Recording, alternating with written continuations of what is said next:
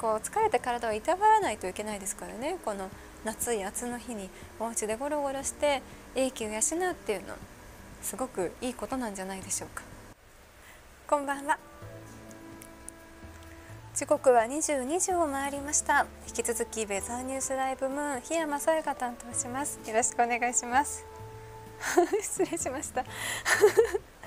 ちょっとあのコメントできてたのを見ていたんですけどあの私夏い暑って言ってないです。言ってあれ？夏い明日って言ってないです暑い夏って言ってます。多分私の滑舌の問題ですね。失礼いたしました。この夏い暑の日に。この夏い暑の日に。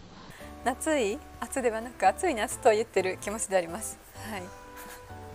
先ほど一部媒体の方にはダイキンプレゼンツビチョンくん天気予報をお送りしました。日によって空気予報の内容が変化していきます言ってた？本当ですか？夏い暑とは言ったつもりないんですけれども。あそこ聞いたえ？そうなんですか？結構皆さん聞こえていましたか？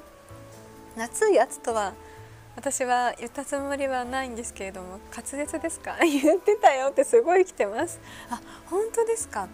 今後一層気をつけて暑い夏というようにします。意味は通じた。あ良かったです。意味は通じますか、夏い暑って何ですか？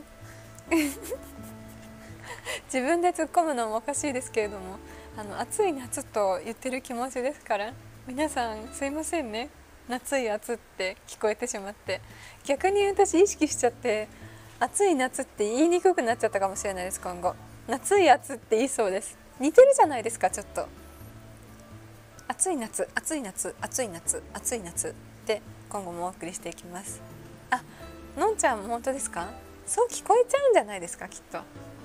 夏い夏え今からじゃあ言いますね。暑い夏。夏い夏どうですか？違いあります？え結構違います？最初はちゃんと暑い夏って言いました、うん、冬い寒って何ですか？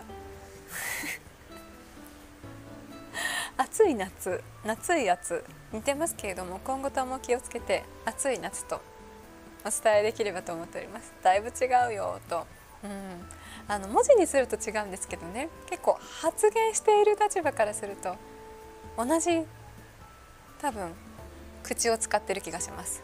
あいうえおの。はい。母音が一緒なので、はい、今後も暑さが続きますので皆さんも暑い夏にはお気をつけください。さあではですねここからはお天気の報告も見ていきますよ。暑い夏となっておりますのでまずは体感報告から見ていきましょう。